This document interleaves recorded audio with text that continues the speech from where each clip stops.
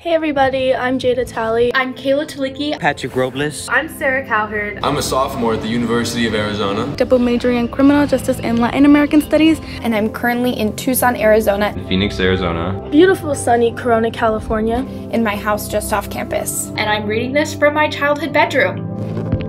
In 1926, University of Arizona athlete and student body president John Button Salmon. John Button Salmon. Button Salmon. Found himself in a hospital bed. Critically injured from a car accident. His football coach, Pop McKale, rushed to visit him before it was too late.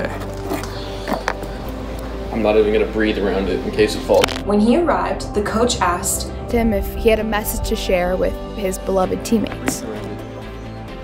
Shortly before he passed away, John told his coach, Tell them. Tell them. Tell them.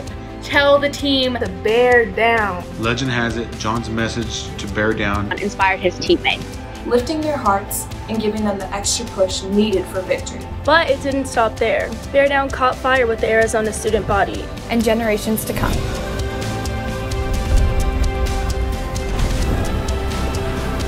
It is our rally cry. It's who we are. Wherever you are. No matter how far apart we are, no matter how impossible it seems. Don't give up. Just keep going. Keep pushing. You can do it. Si, se, puede. We're all in this together. Wherever you are, don't forget. Bear down. Bear down. Bear down. Go Cat.